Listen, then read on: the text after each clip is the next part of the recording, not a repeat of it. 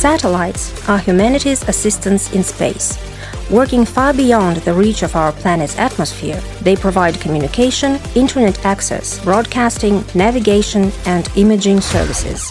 Any such services are made possible by a specific set of equipment called a payload. Sending this equipment off to space is the reason why satellites are built in the first place. What kinds of equipment go into the payload depends on the satellite's purpose.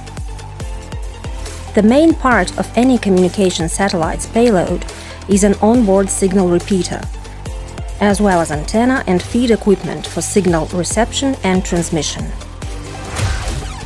Satellites performing special tasks are equipped with special payload components.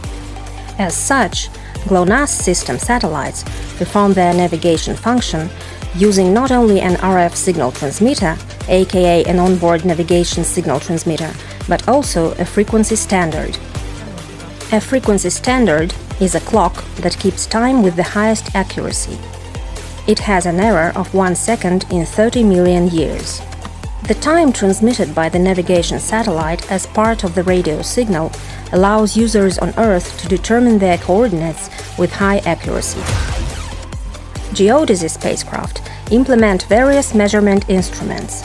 Among them, special emphasis is put on the radio altimeter that determines the exact distance from the spacecraft in orbit to the Earth or water surface.